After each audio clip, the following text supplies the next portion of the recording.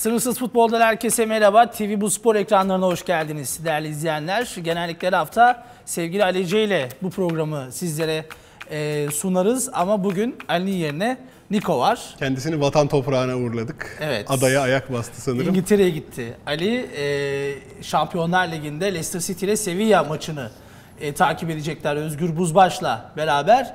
Ama e, Ali'den daha yakışıklı, daha karizmatik bir Şapkayı çıkarınca böyle oluyor anneciğim. evet. Burada bugün Niko hoş geldin Niko. Hoş bulduk. E, Avrupa Liglerine geride bıraktığımız hafta sonunda oynanan maçları sizler için değerlendireceğiz. Tabii ki öne çıkan e, bazı haberler de var. E, gündemdeki konuları yine sizler için yorumlayacağız. Aynı zamanda bu gece İngiltere Federasyon Kupası'na son yarı finalist belli oluyor. Stafford Bridge ile Chelsea ile Manchester United karşı karşıya gelecek. Tabii bu karşılaşma öncesindeki son detayları yine sizlere aktaracağız. Ama ilk olarak Bundesliga ile başlayalım. Bakalım Bundesliga'da hafta nasıl geride kalmış? Almanya Bundesliga'da 24. hafta geride bıraktığımız hafta sonu oynanan karşılaşmalarla tamamlandı. Uzun süredir ligin zirvesinde bulunan ve her geçen gün şampiyonluğa daha da yaklaşan Bayern Münih sahasında Eintracht Frankfurt'la karşı karşıya geldi. Robert Lewandowski'nin yıldızlaştığı maçı 3-0 kazanan Bavyera ekibi böylelikle liderliğini pekiştirdi ve resmi maçlardaki galibiyet serisini de 5'e çıkardı. Ligin ikinci sırasında yer alan ve son dönemde form düşüklüğü yaşayan Leipzig ise kümede kalma savaşı veren Wolfsburg'a yenildi. Eski Beşiktaşlı Mario Gomez'in gol attığı maçtan puansız ayrılan ev sahibi takım hem son iki maçta 5 puan kaybetti hem de lider Bayern'in 10 puan gerisine düştü. Bir süredir Pierre-Emerick Aubameyang'ın ana gündem olduğu Borussia Dortmund ise haftayı ligin en iyi iç saha takımı olan Hertha Berlin'in evinde geçirdi. Güçlü rakibine 2-1 ile boyun eğen ve iyi formunu sonlandıran Sarı Siyahlılar böylece Leipzig'in puan kaybını da değerlendiremedi. Ligin dördüncü sırasındaki Hoffenheim'da haftayı puan kaybıyla tamamladı. Ligde oynadığı son 3 deplasman maçından 1 puan çıkarabilen Mavi Beyazlılar, Freiburg'da da 1-1 berabere kaldı ve dış sahadaki formsuzluğunu sürdürdü. Ligin dibine demir atan Darmstadt ise altın değerinde 3 puanla haftayı kapattı. Kendi sahasında Mainz'la karşılaşan ekip sahadan 2-1 galip ayrılarak güvenli bölgeyle arasındaki puan farkını 11'e indirdi. Bir başka küme düşmeme mücadelesine giren takım olan Ingolstadt'ın Köln'le 2-2 berabere kaldığı haftada playout bölgesinde yer alan Hamburg ise Borussia Mönchengladbach 2-1 ile geçti ve bu zorlu haftayı karlı kapatmış oldu. Bayer Leverkusen, Tayfun Korkut önderliğinde çıktığı ilk lig maçında Werder Bremen'le yenişemezken milli oyuncumuz Ömer Toprak 90 artı 6. dakikada bir penaltı atışından yararlanamadı. Haftanın son karşılaşmasında ise Schalke 04 Gelsenkirchen'de ağırladığı Augsburg'u farklı geçti ve kendini rahat bölgeye atmış oldu. Bundesliga'da gelecek haftanın en önemli maçında Borussia Mönchengladbach ve Bayern Münih kozlarını paylaşacak. Evet Bundesliga bildiğimiz gibi e, Bayern Münih aldı başını gidiyor. Belki bu haftanın Bu Evet. baş giderken Leipzig öndeyken Bayern eski gücünde değil mi? Pep Guardiola yok diye mi böyle oldu ama her şey rayına oturdu. Normale döndü ve 10 puana çıkardılar farkı. Tam da en doğru zamanda olması gereken yerde e, rahat şekilde şampiyonluğa yani koşacaklar. Şampiyonlar Ligi'nde de e, artık çeyrek finalde itibaren biraz daha rahatlamış bir e, Bayern Münih göreceğiz ama bu anlamda tabii ki geçtiğimiz sezonlarda Bayern Münih bunun sancısını yaşamıştı. Yani Evet. rekabet biraz kopunca e, orada e, fiziksel anlamda da bir düşüş söz Bir konusu. rehavet, bir evet, mental anlamda bir motivasyonsuzluk. söz konusuydu. E, bu olur mu bilmiyorum. Bu yani. zaten en büyük tehlikelerden biri yani. Tabii. Yerel rekabetsizliğin az olması. işte Olympiakos'un başına gelenler Şampiyon Ligi'nin Evet. gediklisiyken e, bu sene elemelerde elendiler. Beşiktaş yani Osmanlı karşısında bence ikinci maç 3-0'lık skor aldatıcı. O iki maçın Kendişlik hakkı değildi. yani Olympiakos'un. Ee, aynı şekilde Salzburg yaşadı Avusturya'da. Bir türlü Şampiyon Ligi'ne atamadı kendini. Kendi liginde işte Celtic aynı şeyi yaşıyor. O bir tehlike aslında. O yüzden Uli Hoeneß hep der yani biz rakiplerimizin iyi olması çok önemli ki biz de sürekli iyi olmak zorunda olalım ve bizi kırbaçlayacak, motive edecek bir şey olsun. Bu sene Leipzig'in sürpriz çıkışıyla aslında biraz bu rekabet yaşanır gibi oldu. Leicester'dan sonra yeni bir peri masalımız oluyor mu olmuyor mu derken orada da biraz işler normale döndü. Çok genç bir takım. Hatta daha bu akşam e, dedikodular e, var. Bayern'in e, Le- Le- Leipzig'ten e, oyuncu alacağına dair. Ralf Rangnick bazı yalanlamalarda bulundu. Nabi Keita dedikoduları çıktı ki 22 yaşında gerçekten bu sene çok çok iyi oynuyor. Ee, evet öyle şeyler benim de kulağıma geliyor. Zaten bu her parlayan oyuncu için Bayern gözünü diker ve direkt otomatik müşterisidir. Ama uzun süreli bir kontratı var. Bizim de onu göndermeye pek niyetimiz yok gibi. Yani Keita Bir de ekleme de yapıyor. Ben e, Pogba'yı yani Pogba ile Keita'yı değişmem diyor. Yani Evet. Pogba'dan daha iyi bir e, Abartmış oyuncu biraz ama- olduğunu söylemese de şu an takıma olan katkısı açısından bence. O biraz hem. Yani oyuncusunu motive etmenin Tabii, tabii. e, bir yolu yöntemi. E, Bayern doğal olarak bu tarz şeylerde zaten sevilmediği için böyle şeyleri çok sık yaptığı için Almanya'daki sevilmeme sebeplerinin başlıcası bu. E, Ama rahat bir galibiyet gibi gözüküyor skora bakarsak eğer Frankfurt maçı üzerinde konuşuyorum. 18. dakikada Hummels'in gole giderken yap- yaptığı inanılmaz bir hamle var. Gerçekten bir stoperlik dersi. E, muazzam bir e, tackle dediğimiz hareketle orada golü önledi ki Frankfurt sert bir takım, e, disiplinli bir takım ve başka şanslar da buldular ilk yarı aslında. Farklı da gelişebilirdi. E, 3-0 net bir skor gibi gözükse de çok kolay olmadı. Hummels'in çok iyi oynadığı bir Şampiyon Ligi'nde de inanılmaz iki maç çıkardı. Boateng döndü 4 ay aradan sonraki. O da tam ihtiyaç olunacak zamanda. Şimdi kurallar çekildikten sonra e, durumu e, bakacağız kimle eşleşecekler ama tam zamanında döndü. 25 dakika Bir oynadı yanılmıyorsam. Ha, evet o pozisyon hazırlamıştık sanırım. e, Serkan Işır'dan rica edelim. E, şu anda görüntüye geliyor. Ya çok cesur bir hamle yani şimdi göreceğiz. Kaleciyi de geçiyor. Yani sevinmeye nasıl sevineceğini düşünürken arkadan birden Bir de Hummels geldi 0-0 ve bu arada dikkat edelim yani. yani onu diyorum Frankfurt gerçekten çok dirençli ve disiplinli bir takım. Herhalde burada golü attım diye düşündü büyük ihtimalle. Ee, çok çok riskli yani penaltı, kırmızı kart her şeye ulaşabilir 18. dakikada. Hummels'te neden Hummels olduğunu ispatlayan bir görüntü olmuş. Pas çok güzel bu arada. Bir off, offside taktiği denediler. de orada yani Hummels offside taktiğini de yapmaya çalışan oyuncu kendisini geri atmasına rağmen orada hızlanıp e, bir anda yetişmesi Frankfurt'ta oyuncuya o da takdire şayan aslında. İnanılmaz bir hamle gerçekten. Ee, ama bundan başka da pozisyonları oldu aslında. Ee, değerlendirebilselerdi bu maç bu kadar rahat gelişmeyebilirdi. Müller bu sene geçen sene 32 gol atmıştı tüm kulvarlarda. Bu sene sadece bir golü var ama o da asistleriyle yine katkı veriyor. Ee, skora çok katkıda bulunmasa. Lewandowski zaten bildiğimiz gibi yine o geçen seneki bir ara tavan yapan formuna yaklaştı. Hiç boş geçmiyor zaten. Ee, Bayern için o Ancelotti döneminde her tabii yani aldığı emanet de e, Şampiyon Ligi'nde her ne kadar tam istediğini alamasa da e, çok çok iyi bir takım devraldı. Zaten en başta söylüyordu benim çok fazla taktiksel değişiklik yapmama gerek olmadı. E, Guardiola bana harika bir takım bırakmış gibisinden e, alçak gönüllü açıklamaları da oldu. Ama yavaş yavaş o da artık dokunuşlarını yaptı takıma e, ve Arsenal önünde de çok çok rahat bir tur geldi. İkinci maç şeye benzedi. 2014 Dünya Kupası'ndaki Brezilya-Almanya Evet. finaline benzedi. Yani 3'e 1'ler, 4'e 1'ler. Çok rahat. Gerçi her ne kadar Arsene Wenger orada hakeme de e, serzenişte bulunsa da e, ben hani karşılaşmayı tam izleyememiştim işte seyahatlerimiz e, dolayısıyla. Önder Hoca'ya sorduğumda dedim hani o çünkü tribündeydi onlar, Emirates'teydi. E, yok o kadar abartmış biraz Arsene Wenger dedi. E, bir de mesela şu anda gerçi konuşacağız ilerleyen dakikalarda. E, Real Madrid Barcelona'nın formunu konuşabiliriz. E, Bayern Münih'in şu formunu değerlendirdiğimizde bir de yıllardır da Şampiyonlar Ligi özlemiyle yandıkları için bence Ancelotti gibi Şampiyonlar Ligi'nde winner bir hocayı Ki o da ayrı bir şeyin ben. peşinde. Dördüncü farklı takımla Evet, kazanma ihtimali önemli. var ki inanılmaz bir Şu şey anda orada. bence bir numaralı favori e, konumunda Bayern Münih. Şampiyonlar Ligi'ni kazanma Yani şimdi açısından. zaten e, ilk maçlar bittiğinde herkes Barcelona'ya elendi gözüyle bakıyordu. Real Madrid evet iyi ama e, ligde de bir öyle bir böyle sallantıdalar. Çok dominant değiller bu sene. Hakeza Paris Saint Germain turu geçseydi onlar da oralarda tecrübeli bir takım değil. Yani bu sene burada kesin şampiyon olur diyeceğimiz bir takım yok. Bir böyle iktidar boşluğu oldu gibi yani. Geçen sene Real Madrid öngörülebiliyordu. Barcelona, Bayern Münih büyük favori gösteriliyordu. Yani 2-3 takım parmakla gösterilirdi. Bu sene öyle bir tablo yok karşımızda. Ben mesela Juventus'un da ligi de biraz daha rahatlarsa eğer büyük favorilerden biri olacağını düşünüyorum. Ama tam o noktada herkes Bayern geçen seneki gibi değil derken Bayern yine Arsenal önünde e, tüm rakiplere bir sert mesaj göndermiş oldu. Ya bir de bence Barcelona ve Real Madrid'de her ne kadar şu anda La Liga'nın zirvesinde de olsalar, turda geçseler ben oynadıkları oyunun şu dönemde pek Evet, tatminkar olmadığı defoları var. Yani bir tarafta kendini daha da geliştiren bir Bayern Münih var, bir tarafta da geriye gitmiş bir e, Barcelona ve Real Madrid görüyoruz.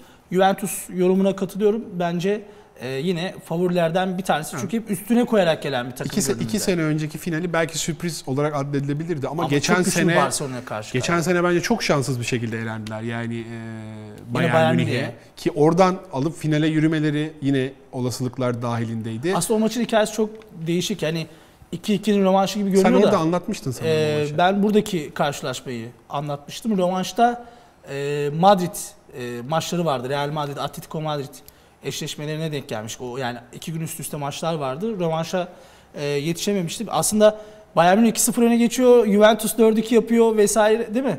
E, sonradan çok 4-4'e gelgitli bir geliyor maçtı. gibi yani. Aynen ki son dakikada yani Evet. Elio gibilerdi. Koma'nın golüydü yanlış hatırlamıyorsam. Evet. Orada her şeyi değiştirdi. Geçen sene bile o finalden sonra oynadıkları futbol yine bir final veya kupayı getirse kimse şaşırmayacaktı ki e, zaten Real Madrid'in nasıl finale gittiğini biliyoruz. Wolfsburg'a neredeyse Ronaldo'nun o barajın içinden geçen friki olmasa belki şampiyon çeyrek finalde veda edecekti ki geçen sene Wolfsburg evet iyi başladı ama Şampiyon Ligi'nde Real'i eleme aşamasına geldi. Ligde düşüşe geçmişti artık.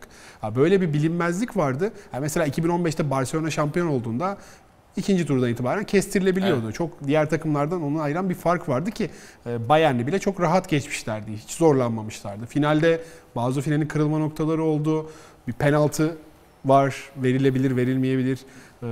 Bir tane tercihte e, Bravo'nun kurtardığı çok kritik bir pozisyon var 1-1'de ki Juventus orada skor üstünlüğünü alabilse farklı ilerleyebilirdi ama nispeten rahat bir şampiyonluktu. Geçen sene e, yine böyle bir iktidar boşluğu vardı. Bu sene de bence benzer bir tablo var. Yani kalan e, yarın ve çarşamba günü belli olacak. Kalan 8 takımdan bir öne çıkan yok derken e, Bayern bir mesaj gönderdi ve tam doğru zamanda Ancelotti de artık yani buraları oynama konusunda herhalde daha tecrübesi yok. Çeyrek final, yarı final, final aşamalarını takımın form ayarlamalarında çok iyi yaptı. Ligde de aslında Leipzig'in onları bu zamana kadar zorlamış olması bence bir nevi avantaj Kesinlikle. oldu ve o rehavete kapılmadılar hiçbir zaman. Kesinlikle.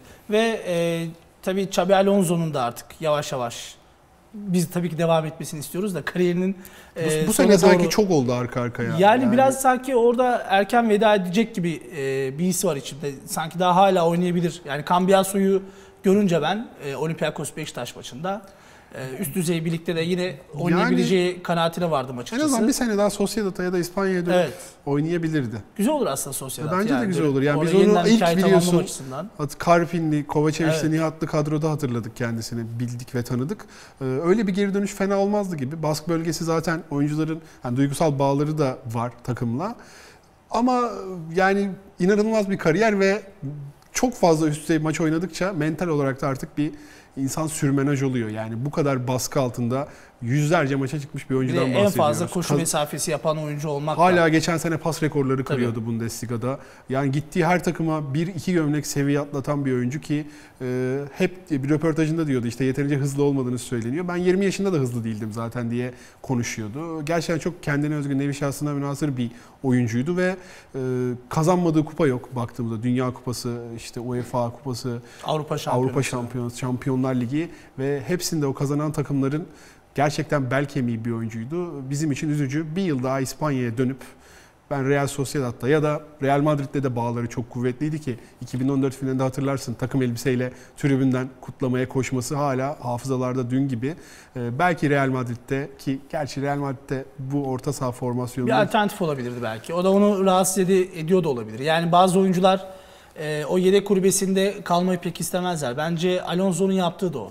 Yani biraz da zaten üst düzey oynadı, oynayabilecek her takımda neredeyse oynadı. Senin dediğin gibi her e, kupayı da kazandıktan sonra artık bir noktadan sonra belki e, oradaki rotayı bir de gerçekten çok kendi e, adına için. entelektüel bir kişilik yani. E, Dinlediği müzikler olsun, Tabii. giyim tarzı olsun. E, ben bu tarz oyuncuları da seviyorum. Yani artık ben yapacağımı yaptım. Artık hayattan keyif alacağım noktaya. Hiç futbolla alakası da olmayabilir bundan sonra. Yatıyla bir dünya turuna çıkar.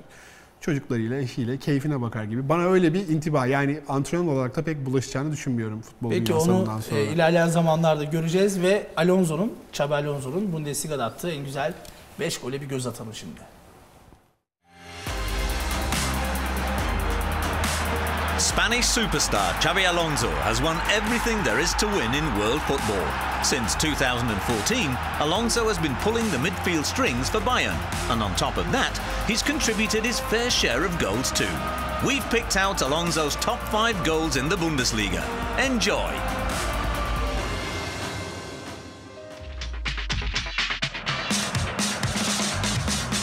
I think they tricked themselves here. Alonso. Oh my goodness!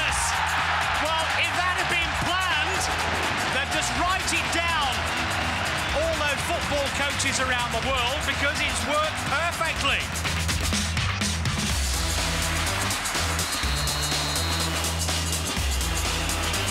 Not this time. Oh, he's put it in! What a goal! What a brilliant strike from a truly majestic midfielder called Xabi Alonso.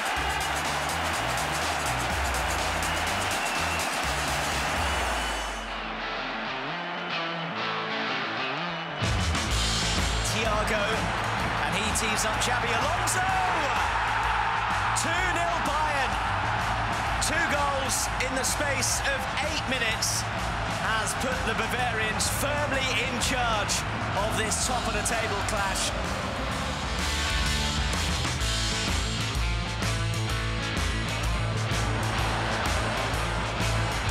Xavi Alonso!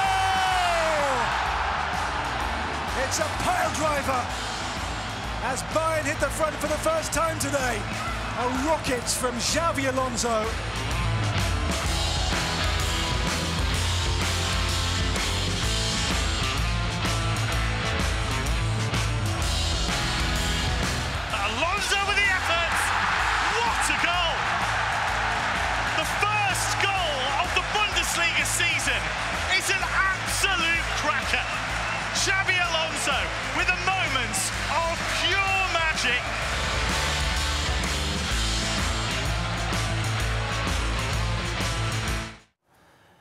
Evet Xabi Alonso izlemeye doyamadığımız isimlerden biriydi. Artık e, onun rotası çok daha farklı olacak hayatta. Bir ara Liverpool'da orta sahadan gol atar bahisleri açılıyordu ve birini zengin etmişti. Orta sahanın gerisinden attığı bir golle Newcastle maçıydı yanılmıyorsam. Böyle de bir oyuncuydu kendisi. Bir aliyece bilgisiyle kendisini aratmadım bu akşam. Mutlaka bir araya bir Ali Liverpool, Borussia Mönchengladbach ada- ada girmesi lazım. Evet. yani. Alici'yi aratmıştı 5 dakikada gerçekten. bir bahsetmezsek. koçum. Teşekkür ederiz. Peki Leipzig'te bir düşüş söz konusu. Düşüş Bu değil, bekleniyordu. normale dönüş o biraz ya. Ama niye canım kaybettiğin zaman? Ama çok genç bir kadro. yani. Yaş ortalaması 22. Yani geçen sene e, alt ligdeyken birden zirve yarışının içinde buluyorsunuz. Evet o Leicester hikayesi herkese bir ilham veriyor. Biz de yapabiliriz güveni de veriyor ama ya bir yere kadar. Ya biz de isterdik tabii daha da sürsün o şey ama bu hafta bir eski dost onların 3 puanını çaldı Gomez ki Gomez de enteresan. Gomez'in bir Şenol Güneş'i daha var. Ee, Yonker yeni teknik direktörleri onun yönetimi altında ikinci maçında da golünü attı ki 2010-2011 sezonda Van Hal'in yerine son 6 hafta göreve gelmişti Yonker yardımcı antrenör olarak. O 6 maçta 11 gol atmıştı Gomez. Onun yönetiminde çıktı 8. maçta da golünü attı. Böyle enteresan bir rekoru ve serisi var. Ee, Bakalım nereye kadar sürecek böyle. Ben e, bir şekilde Wolfsburg'dan hala Beşiktaş'a geleceği yönünde umudum ve beklentim var. Ee, Dileriz öyle bir şey gerçekleşir. Yani Mario Gomez'in ben e, öncelikle o oynamayı özlemişti. Sonra gol atmayı özlemişti. İkisini de Beşiktaş'ta buldu.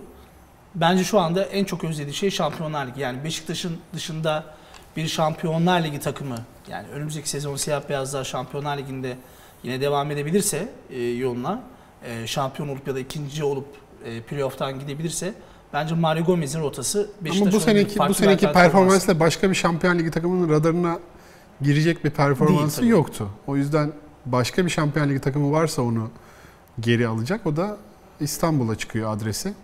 Bakalım enteresan bir Yani ilginç transfer olabilir. dönemi olacak orada. Bu arada Hamburg Bayern Münih'ten 8 yedikten sonra üst üste 2 galibiyet elde etti. Ee, her yılki o rotayı yapıyor yani. Tam böyle düşme hattında birdenbire plat hattında bir 7-8 bitebiliyor. yiyor Bayern'den. Nasıl Evet. bir husumet varsa aralarında. 9 Sonrasında bile bir maç vardı 9-2 yanılmıyorsam. Ee, yine öyle bir Her sene yani enteresan bir istatistik. Önce. Berlin sonra Borussia Mönchengladbach'ı mağlup ettiler. Ee, bu arada sözü açılmışken e, Schalke Mönchengladbach eşleşmesinden de bahsedelim. Şimdi hem ligde karşılaştılar. Ligde yendi e, Borussia Mönchengladbach. Sonra e, berabere kaldılar. Şimdi rövanşa çıkacaklar Tam bir basketbol günü. playoff serisi gibi bir şey oldu aralarında. Ee, Yani enteresan bir maçtı. Bol pozisyonlu. 1-1 bitmesine çok şaşırmıştım Avrupa Ligi'ndeki aralarındaki maçların. 90 artıda bile enteresan goller kaçıyordu. Ee, bu ara böyle sık sık oynadıkları için birbiriyle çok kestirilemez bir maç açıkçası. Ee, Schalke de son dönemde formda toparlandı. Çok kötü başlamışlardı. Yanılmıyorsam Tabii. 6 maçta galibiyet alamadan başladılar. Orada bir değişiklik geldi ve toparlandılar ondan sonra. Ee, biraz defansif oynasalar da en azından bir düzenleri var saha içinde. Sert bir takımlar gerçekten.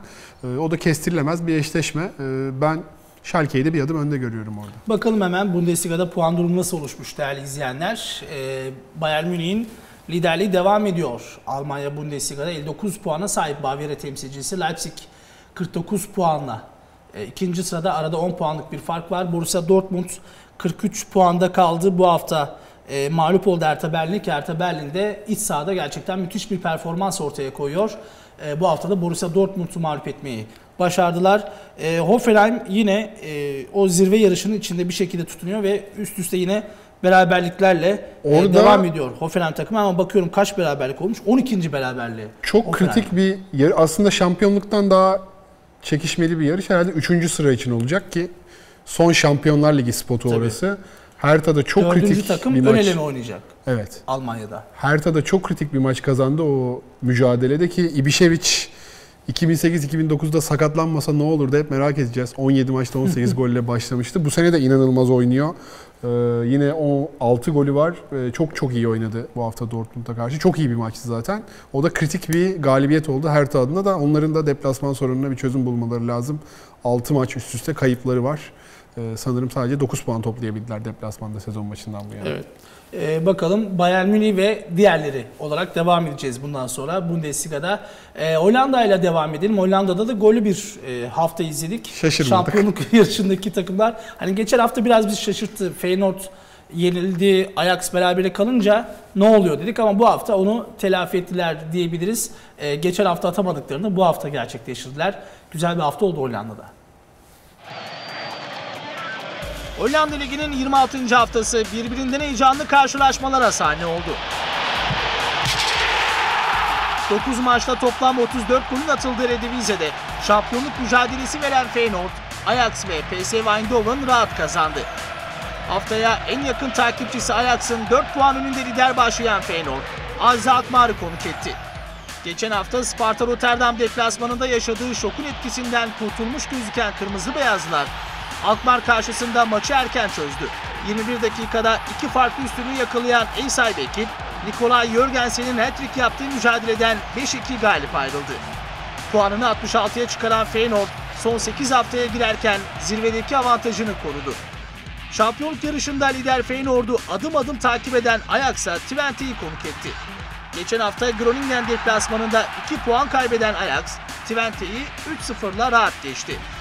Twente kalesine maç boyunca tam 27 şut gönderen başkent ekibi puanını 62'ye yükselterek zirve takibini sürdürdü. Geçtiğimiz haftanın en karlı takımı olan PSV Eindhoven, Goethe Eagles deplasmanına çıktı. De Jong kardeşlerin birer gol attığı karşılaşmayı 3-1 kazanan PSV, 26. haftayı kayıpsız geçerek umuda yolculuğunu sürdürdü. Goethe Eagles ise bu mağlubiyetle ligin son sırasına indi. Hollanda Ligi'nde bu hafta düşme hattında bulunan ekiplerin yükselişlerine sahne oldu. Roda Groningen karşısında 3-1 kazanarak moral bulurken düşme korkusu yaşayan bir başka takım olan Excelsior, Herenveen'i 4-1 mağlup ederek 15. sıraya yerleşti. Haftaya ligin dibinde başlayan Ado Denak, Neknemegen'i Mike Hanevar'ın tek golüyle geçti ve kritik 3 puan aldı. UEFA Avrupa Ligi için playoff oynama hedefinde olan Willem, Zwole'yi 2-0 yenerken Herakles lig dördüncüsü Utrecht'i Thomas Brün'ün son dakikada attığı golle 2-1 mağlup etti. Haftanın ilk maçında ise Vitesse Sparta Rotterdam'ı 1 saat içinde bulduğu gollerle 5-0 yendi ve en farklı galibiyeti elde etti. Hollanda Ligi'nin 27. haftasında lider Feyenoord Herenveen deplasmana çıkacak. İkinci Ajax Excelsior'a konuk olacak. Üçüncü PSV Eindhoven ise iki basamak gerisindeki Vitesse'yi ağırlayacak.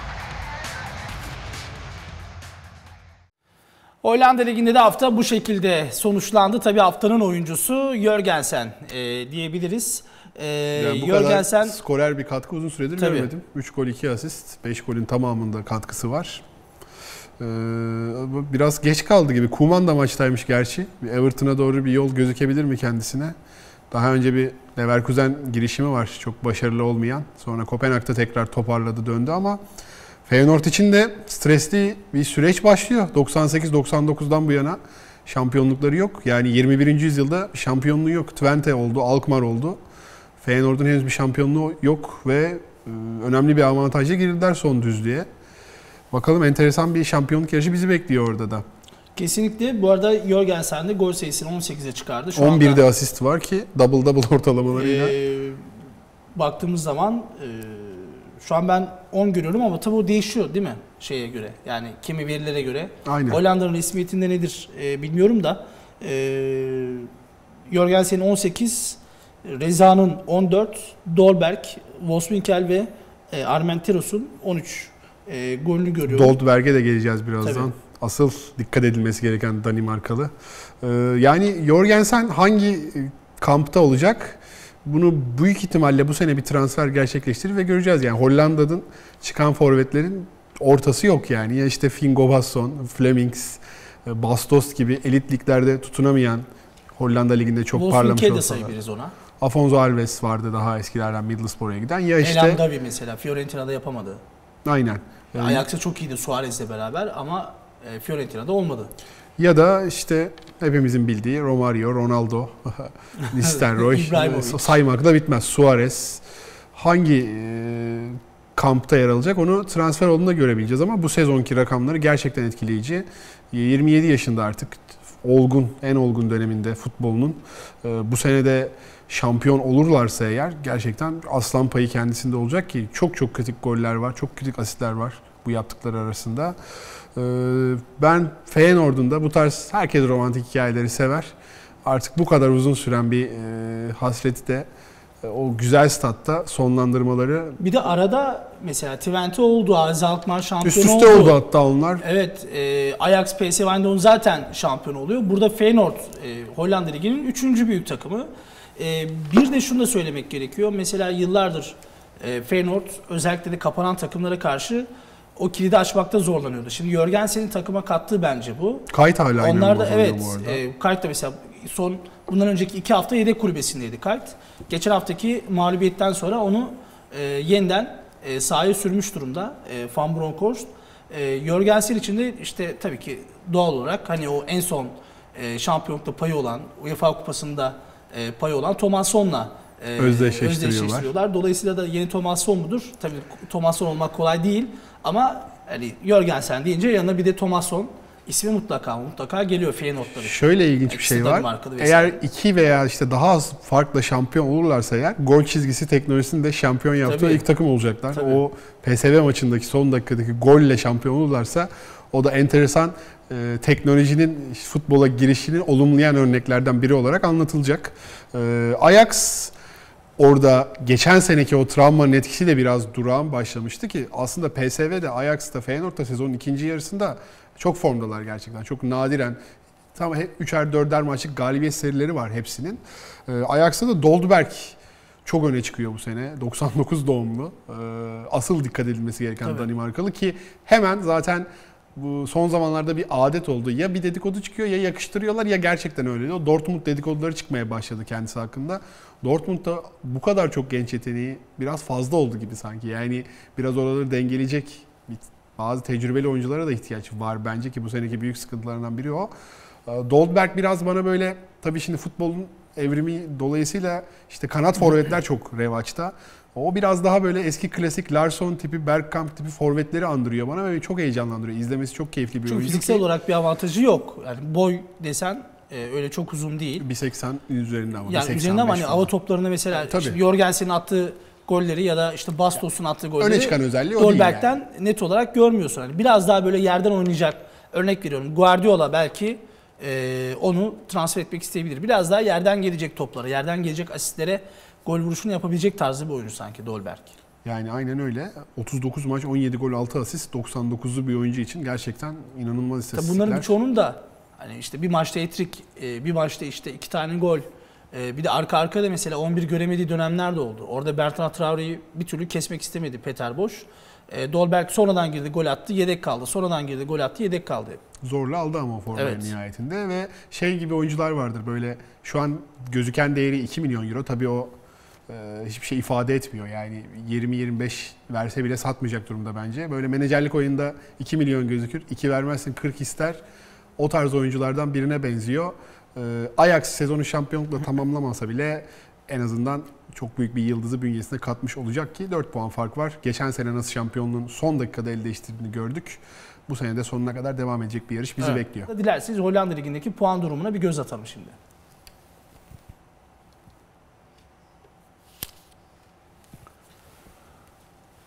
Feyenoord'un liderliği devam ediyor. Ajax arasında 4 puanlık bir fark var. Ajax bu hafta Twente'yi 3-0 mağlup etti değerli izleyenler. Feyenoord Azi Alkmaar 5-2 e, yendi demiştik. PSV Eindhoven'da deplasmanda Goethe Eagles'ı 3-1 mağlup etti. Yani zirvedeki 3 takımda kazandı.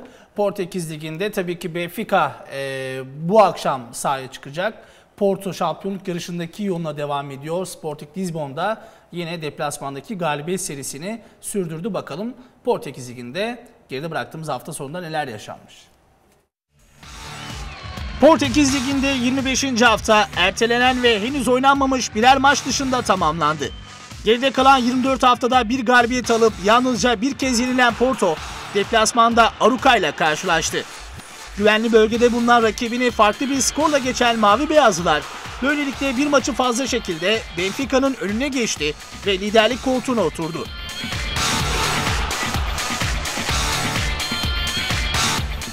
Bu sezon şampiyonluk yarışından uzak kalan ancak Avrupa Kupaları mücadelesini tam gaz sürdüren Sporting Lisbon ise hafta sonunda ligin dibine demir atan Tondele'ye konuk oldu.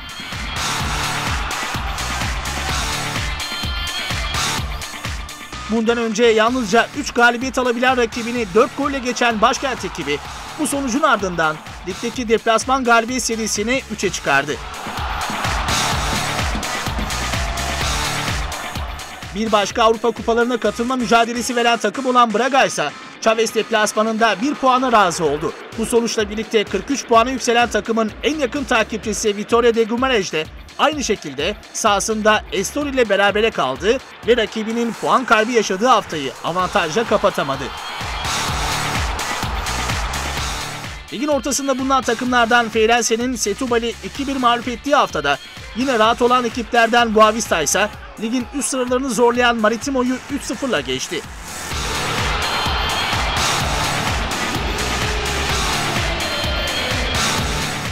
Haftanın oynanan son karşılaşmasında ise Rio ve zayıf Moreirense'yi 3-2 ile geçerek sıralamadaki rakiplerinin puan kayıplarını iyi değerlendirdi ve ligde 7. sıraya yükseldi.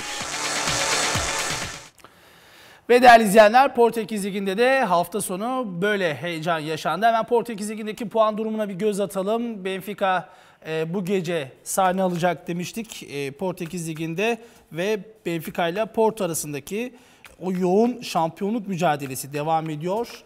E, son yıllarda Benfica şampiyonluk hegemonyasını eline geçirmiş durumda. Porto şu anda maç fazlasıyla e, 62 puanla liderlik koltuğunda. Benfica 60 puanla ikinci. Sporting Lisbon kazandı bu hafta 51 puanı var. Üçüncü basamakta Braga 43 puanla dördüncü ve Vitória Guimarães'in de 41 puanı bulunuyor. Moreirense, Nacional ve Tondela'da düşme hattında bulunan takımlar diyelim e, Portekiz Ligi'nde ve e, devre arası transfer döneminde e, Porto'nun yaptığı transfer. Vitória Guimarães'den Tiquinho'yu e, kadrosuna kattı. Muhteşem isimli bir Porto oyuncu. takımı. Evet yani bir yıldız için güzel bir isim Tiquinho. Yani hakikaten her türlü golü atabilen bir oyuncu. İzliyoruz şu anda da. Ee, 3,5 milyon euroya geldi devre arasında ki ilk maçta Gümareş'ten kalan cezası yüzünden oynayamamıştı. Ondan sonra oynadığı 5 maçta 7 gol yanılmıyorsam. Olağanüstü bir performans ve Porto'nun resmen seyrini, havasını değiştirdi attığı gollerle. Kafa golü atıyor, plase vuruyor, adam geçiyor. Ve bu zamana kadar da hiç öyle bir parlak bir kariyeri de yok. Yani Nasyonel'de 12 maç 2 gol atmış. O 2014-2015'te. Yine Nasyonel'de 30 maçta 9 golü var. Gimareş'te 16 maçta 7 gol. 2016-2017 ve burada 5 maçta 7 gol. Gerçekten bir önceki e, istatistikleri hiç parlak ve bu ışığı veren bir oyuncu değilken birden X faktör oldu burada ve 2 Nisan'da e, kıyamet kopacak Portekiz Ligi'nde. Çok çok kritik bir maç. E, Porto'yu her şeye rağmen bir adım önde görüyorum. Çünkü Benfica'nın da bu maçtan 3 hafta sonra bir de Sporting deplasmanına konuk olacak. O da e, eski hocası şampiyonluk yolunda bir çelme takacak mı acaba Benfica'ya ki kendisinin kaybettiği finallerle anlıyor hep. İşte Vitor Pereira'lı Porto'ya son hafta kaybettikleri maçta giden şampiyonluk. Ee, UEFA Avrupa Ligi'nde Fenerbahçe yendikten sonra giden, yine Portekiz Kupası'nda hatta Cardozo ile Jorge Jesus'un bir saha içinde atışması olmuştu. 2012-2013 sezonu. O lanetli sezondan sonra herkes aslında şok eden bir kararla e, gitmişti Sporting Lisbon'a. Belki de yeni bir e, macera için. E, bu sene biraz gerisinde kaldılar tabii. Zaten bu Portekiz puan durumunu böyle sadece puanları göstersek hiç takım adı yazmasak aşağı yukarı 5 kişiden 4'ü tahmin eder hangi lige ait olduğunu. Ayrılmış bir ilk iki. Onlar herkesten ayrı bir üçüncü sıra takımı ve sonra yakın puanlarla dizilen e, takımlar arka arkaya. E, 2 Nisan'daki maç gerçekten e, yılın derbilerinden biri olmaya aday. Mutlaka güzel bir e, şampiyonluk düğümü maçı olacak diyelim Benfica ile Porto arasında ve rotamızı İspanya La Liga'ya çevirelim değerli izleyenler.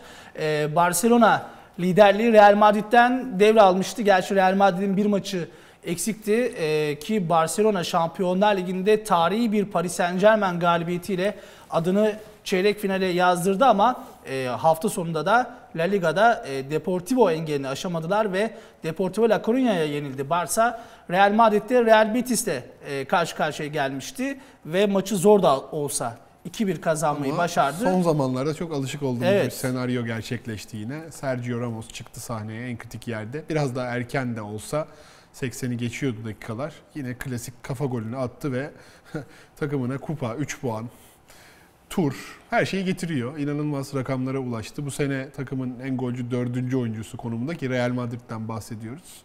Onun hakkında bandımıza bakalım dilersen sonra. Ve tabii e, Sergio Ramos'un e, gösterdiği performans dikkat çekici. E, sevgili Nikon'un da söylediği gibi bu sezon Real Madrid'in en golcü dördüncü oyuncusu aynı zamanda da Real Madrid tarihinde de en golcü ikinci savunma oyuncusu oldu. Bakalım Sergio Ramos e, hangi gollerle hangi başarıları getirmiş Real Madrid'e.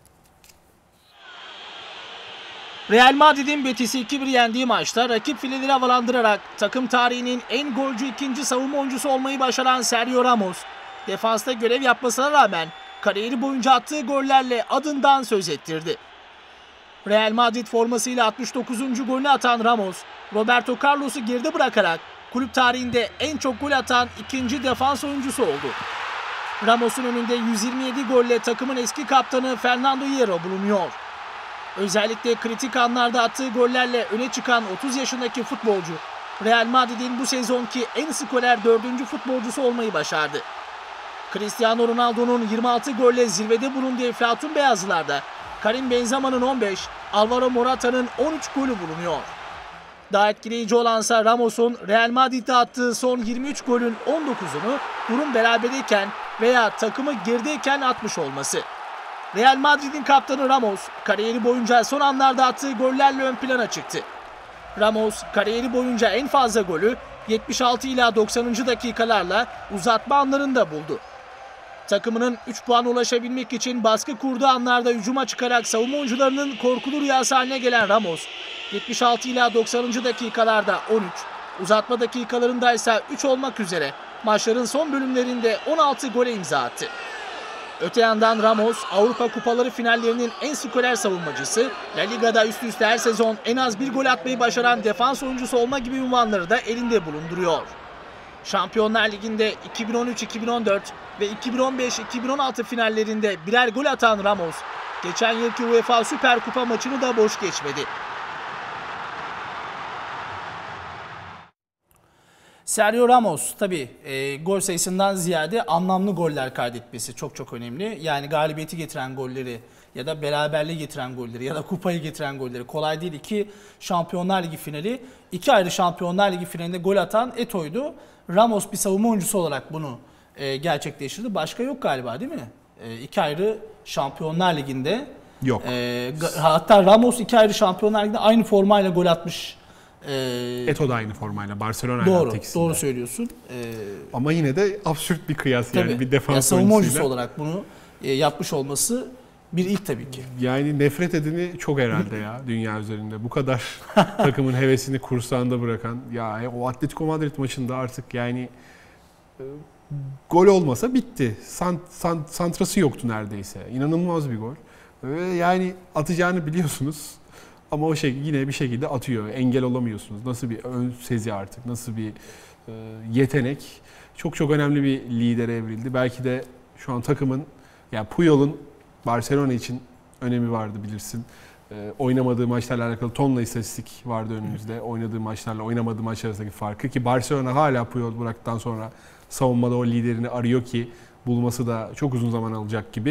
E, Ramos da Real Madrid için gerçekten Bale'den, Ronaldo'dan, Benzema'dan daha çok ifade, daha çok şey ifade eden bir e, kişi konumunda. E, arka arkaya yapıyor bunları. Napoli 1-0'dı ve yani çok baskılı oynuyorlardı. Real Madrid'i kıstırmışlardı tabiri caizse. Orada bir değil iki gol attı. Bu hafta e, yine Real Barcelona Deportivo maçını kaybetti. Önemli bir puan farkından gelmişti Barcelona aslında. Daha rahat gözüküyordu ligde Real Madrid. Yine kritik sayılabilecek maçta sahneye çıktı. O kadar kolay yapıyor ki yani inanılmaz gerçekten. Yani bu sene Real Madrid'in kazanacağı bir Şampiyonlar Ligi şampiyonluğunda, bir La Liga şampiyonluğunda adı da herhalde Ballon d'Or adayları arasında yavaş yavaş anılmaya başlayacak bu performansından sonra ki çift taneli rakamlara ulaştı gol sayısında da e, neden olmasın diyoruz. Yani Cannavaro'dan sonra bir savunma oyuncusu alacaksa eğer Ballon d'Or'u herhalde en yakın kişi Sergio Ramos olacak buna da. E, yani 2013 final serisinde hatırlarsın Real'ın attığı üçlük vardı Miami'ye ve şampiyonluğu getirmişti o. Ramos'un da attığı gol buna benziyor. Yani orada beraberliği sağladı belki ama o açıdan yani kupayı bir, bir elden alıp bir takıma verdi. Herhalde heykeli dikilecek oyunculardan biri olacak Real Madrid Ama şunu söyleyelim, e, Ramos da yine verdi röportajda. Evet belki oynadığımız futbolla taraftarlarımızı çok fazla tatmin edemiyoruz ama e, yine de bu tür karşılaşmaları kazanmak çok önemlidir demiş Real Betis maçından sonra. Şu bir gerçek ki e, Paris Saint Germain maçını bir kenara bırakıyorum Barcelona açısından. Gerçekten de o maçın momentumu çok farklıydı. E, bir anda hani e, son 5 dakikada gelen 3 golle e, kazanmayı, tur Bu atlamayı zaten başardı Şampiyonlar Barcelona. Ligi'nden dönen herkes bir sorun yaşadı ki. Mutlaka yaşayacak. Dün Paris Saint Germain maça çıkmış mesela ben. Gördüm ve garipsedim açıkçası. Ya enteresan. Lorient'le oynadılar. Biraz nispeten kolay bir tabii. işin şakası ama kazandılar. Bir de deplasmana çıktılar. Barcelona'nın da yani 100 yılda 50 yılda yaşanacak bir şey yaşadılar. Ee, çok Deportivo gibi zorlu bir deplasmanda kayıp öngörülebilirdi. Ee, onlar da Şampiyon Ligi'nden elendik havası vardı ama lige tutunduk motivasyonu varken birden yine değişti işler ve Şampiyon Ligi'nde kaldılar. Ligde de o küçük de olsa bir avantaj demeyelim ama başa başa gelmişti ee, mücadele. Tekrardan bir adım geri düştüler. Orada enteresan bir olay daha var. Bir erteleme maçı var Real Madrid'in Celta Vigo ile ve iki takım da Avrupa'da devam ediyor. Evet. E, o maç ligler bittikten sonra oynanma ihtimali var ve iki puan farkla öyle bir maç oynanırsa o da enteresan bir tek maçlık final gibi bir şey olacak Kral Real Madrid için. da yarı final kalmadı. Ee, artık finale yükselen takımlar e, belli olduğu için bu anlamda değil mi? Evet. Ee, böyle Yani bir şu anki fikstürde Avrupa'da devam ettikleri sürece o maç oynanamayacak. Yani ikisinden birinin elenmesi de işe yaramıyor. İkisinin bir arada elenmesi lazım ki bu turda elenirlerse oynanacak. Ee, ikisi de biri Avrupa Ligi'nde, biri Şampiyon Ligi'nde zaten devam ediyor. Ee, Orada da bir enteresan sezon sonu görebiliriz İspanya'da. Ben yine de e, bu haftaki bu galibiyetin onları bir adım daha yaklaştırdığını düşünüyorum şampiyonluğa. Sevilla'nın da puan kaybettiği haftada. Gerçekten hasarlı ve yıprandıkları bir maçtı. Yani dediğim gibi Napoli orada 1-0'dan sonra fırsatlar da buldu. E, Turu da geçebilirdi ki formda bir hücum takımı. Avrupa'nın en iyi hücum takımlarından biri şu an. Orada Ramos çıktı yine sihrini gösterdi ve artık herkesin alıştığı ve kimsenin şaşırmadığı. Betis maçından sonra golü attı. Herkes normal karşılıyor artık sosyal Tabii, medyada artık falan. bir golcü o. Yani e, savunma oyuncusundan ziyade net bir golcü Yalnız. Hierro'nun 127 golü de Ama orada tabii Hierro'nun Free kick ve penaltıları da var. çok çok önemliydi. Bir de daha uzun süre oynadı. Yani Ramos'un Sevilla e, geçmişi olmasa e, Unutuldu gibi ama o artık yani ya. Hierro değil mi? Altyapıdan itibaren Real Madrid forması giymiş bir isimden bahsediyoruz. E, dün gece değerli izleyenler e, Afrika'da 20 yaş altı şampiyonası vardı ve e, finalde Zambiya ile Senegal karşı karşıya geldi. E, Afrika'daki futbol sahalarında büyüye biraz alışkınız. Hatta 2002 Senegal eşleşmesinde biliyorsun davul çalanlar vardı ve böyle ona karşı Son önlemler Afrika alacak mıyız da vardı. diye. Son Afrika Uluslar Kupası'nda da e, yine söz konusuydu. Juju E, büyüsü. e, yanılmıyorsam Gana'nın file bekçisi olabilir. E, ya da Kamerun'un file bekçisi. Tam hatırlamıyorum. Bir örümcek adam simgesi e, koyuyordu kalenin evet. yanına. O tabii büyü değil, o biraz daha totem. Çok enteresan görüntüler var. Bir izleyelim bakalım. ev sahibi olduklarından ötürü doğrudan katıldılar turnuvaya. Senegal ise iki öneleme turu oynadı. Bu arada orada bir madde var. Ortam biraz gerildi. İstenmeyen görüntüler var şu an.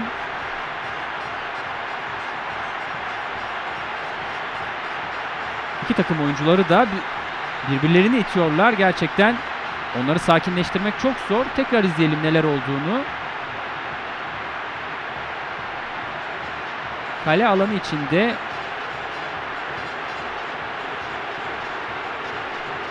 Ndiaye oraya bir şey bıraktı.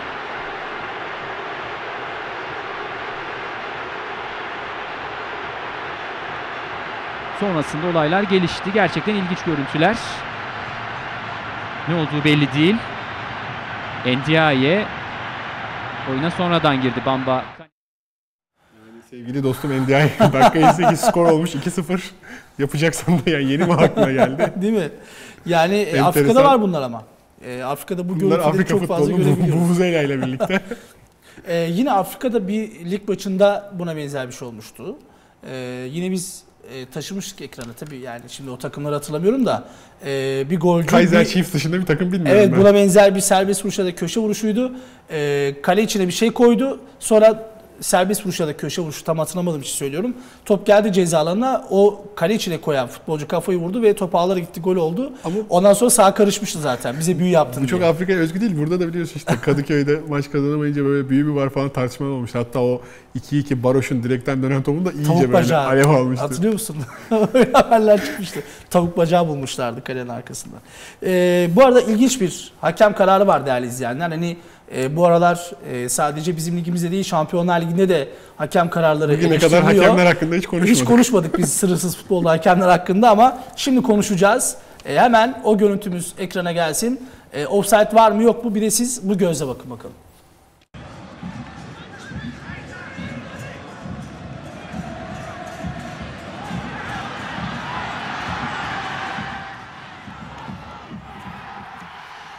MLS Ligi'nden bir maç bu. Chicago ile Real Salt Lake karşı karşıya geliyor. Ee, burada e, kırmızı formalı Chicago'lu oyuncu Yan hakem bayrağı kaldırmasına rağmen orta hakem ısrarla devam diyor ki epey önde gözüküyor aslında oyuncu burada. Ya burada net offside bu baktığında. Herkes şaşkın tabii ama şu açı İşte olay bu. gerçekten arkada birazdan hakemi de hakeme göreceğiz. bakalım evet. Yan hakem bayrağı kaldırıyor. Helal olsun hakeme. Kevin Stott e, tabii her zaman genelde eleştirmek için bu tarz po- pozisyonlar dikkatle süzülür. Bu gerçekten süzülmesi de zor. E, ilk izleyişte de sanki rakibin ayağından geliyormuş gibi gözüküyor ki bugün birkaç kişiye daha izlettim programdan önce. Herkes aa offside nasıl verilmemiş tepkisini verdi istisnasız. E, enteresan ve e, olumlu güzel bir hakem kararı. Evet e, tebrik ediyoruz e, hakemi de e, yardımcı hakem de yani hakem sana koş diyor niye koşmuyorsun arkadan ısrarla offside bayrağı ona kilitlenmiş oldu görevi Evet, o. kaldırdı ve durdu evet, zaten. kaldırdı ve durdu E, ama gerçekten de müthiş bir devam kararıydı bu ve e, 50 yaşında 50 yaşında Tam bir mi sınırsız futbol oldu. Afrika'da Tabii. başladık. Amerika şimdi Asya'ya doğru uzanıyoruz. 50 Programın yaşı, adını koyarken zaten bu yüzden koyduk sevgili Nikoş'um. Onu düşünerekten. 50 yaş Nereye 7 gidiyoruz gün. şimdi? 50 yaşında gol Asya'ya atan gidiyoruz, Japonya'ya. Kazuyoshi Miura'ya gidelim. Bakalım e, bu yaşta nasıl bir gol atmış.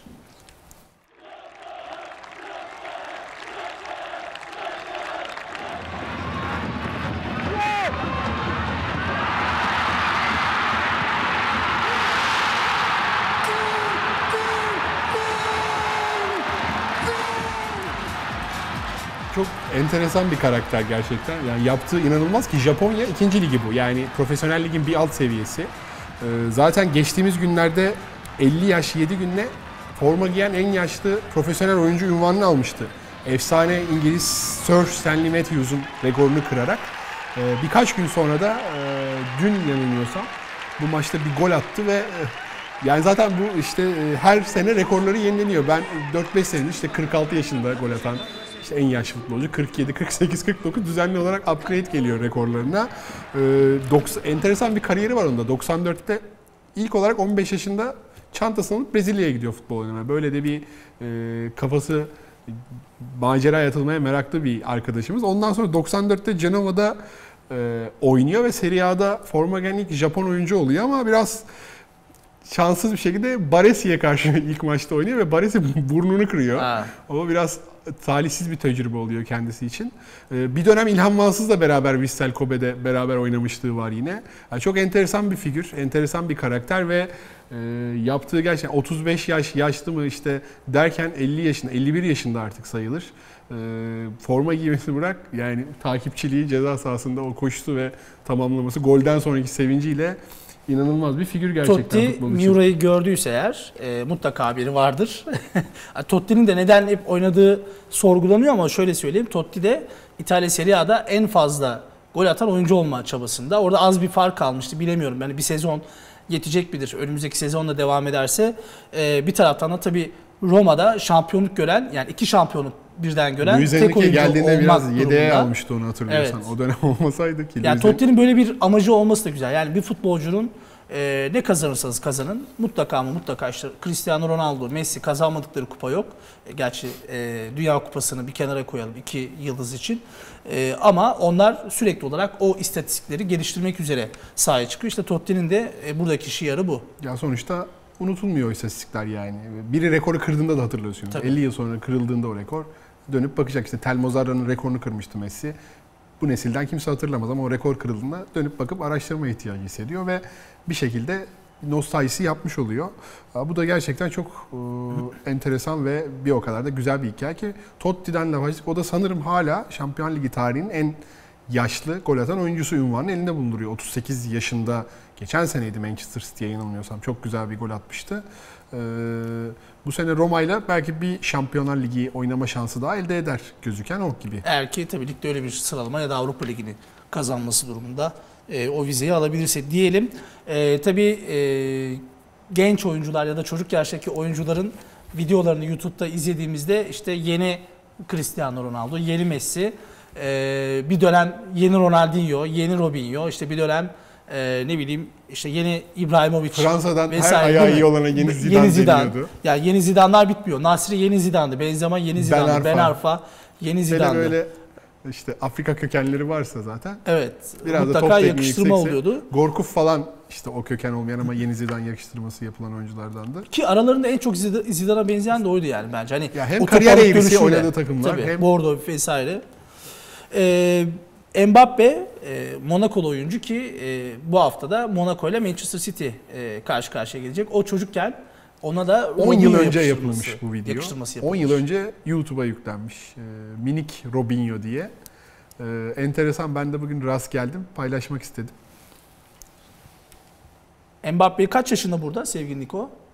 10 yanılmıyorsam. O zamanlar stili aynı ya hiç değişmemiş gibi. Değil mi? Zıplaya zıplaya büyük, büyük adımları gerçekten yani e, yeni Henry adayları da çok vardı. İşte en son Martial de gösteriliyordu ama tarz olarak herhalde en yakını Çok enteresan bir şey hatırlıyorum ben. Tigana e, Beşiktaş'a geldikten sonra Gökhan Güleç de Bobo'yu almıştı hatırlayacaksın. Burak Yılmaz da gelmişti. Üç arasından Gökhan Güleç'i Thierry Henry'e benzetmişti. Bobo'yla Burak Yılmaz'ın kariyeri daha yukarı çıktı. Gökhan Güleç Beşiktaş'tan sonra bir sıçrama yapamamış. Çok Tigana'ya da yakıştıramadığım bir benzetme olmuş. yani Yani o tabii o stil açısından belki öyle bir benzetmede bulunmuş olabilir.